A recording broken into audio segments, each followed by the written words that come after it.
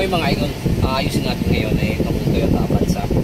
So, tinanong ng customer kasi hindi gumagana yung mga uh, gauges dito sa cluster panel. So, ipakita ko sa inyo kung anong naging problema niyan. So, yan. I-switch ko muna sa front yung video. Okay, so yan. Kung makikita nyo, uh, nagbiblink yung indicator ng handbrake. Tsaka yung mga gauges tulad ng sa fuel, yung speedometer, tsaka RPM, pati yung temperature hindi yan gumagana. So makikita nyo lahat yan bagsak nasa baba. Okay, so common yan dito sa amin. So isa talaga sa ang problema talaga niyan ay yung cluster panel. So may problema yan sa mismo sa circuit board niya. So dadalhin ko yan dun sa kaibigan kong electronics.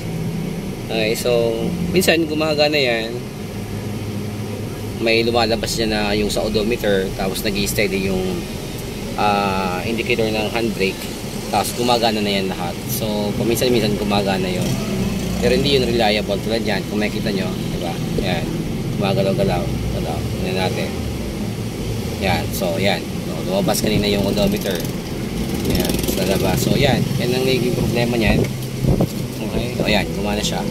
Tapos nawawala kung nakita nyo so yun yun ang problema niya. Yan mga wala wala. Okay? So yan. So ang kailangan gawin yan tatanggalin natin tong cluster panel at dadalhin ko dito dadalhin ko yan na, na cluster panel dun sa kaibigan kong electronics. Okay? So simulan ko na yan. Okay so yung meron yan na tornilyo dito sa taas. Yan. So tanggal na yan okay sikot na lang natin to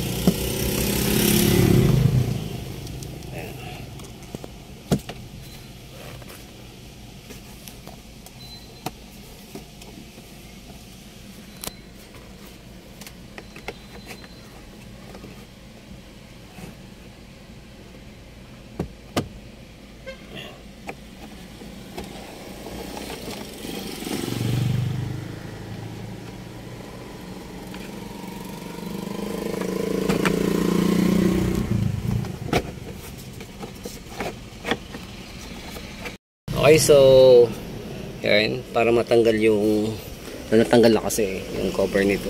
Yan. Tanggal na. Para matanggal yan, kailangan luwagan niyo yung tornilyo dyan sa ilalim. Ito.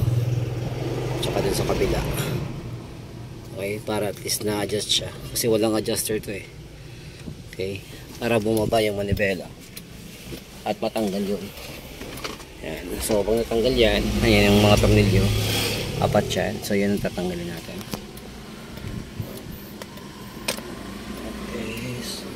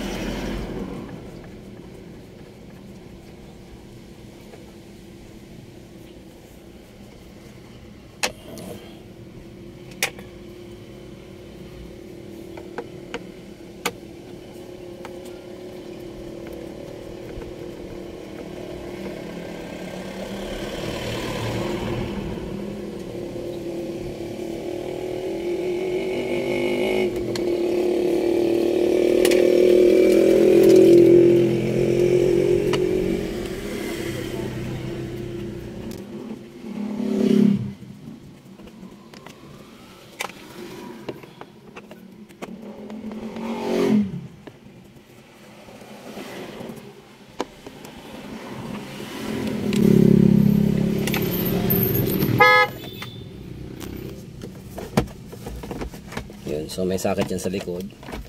Patanggalin lang natin yung mga sakit sa likod. Yan. Okay, so isa lang ang sakit dito. Makita nyo. Okay, so tanggalin lang natin yan.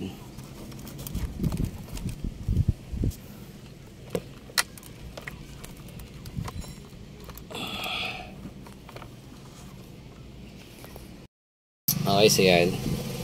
So ito na. Yan na mismo yung instrument panel niya. Okay. Yan. So dadalhin ko yan doon sa kaibigan kong electronics. Ayan sa akin.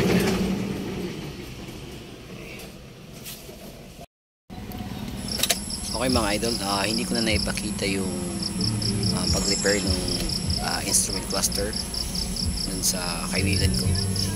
Um, yan, kinuha ko na siya. Pero nung tinatid ko yan, uh, na sana kaso yung ah, sa gauge ng fuel, ah, hindi niya natama ng buti yung needle. So, yan, ibabalik ko sa kanya yan. So, abangan natin, abangan nyo yung video dun sa part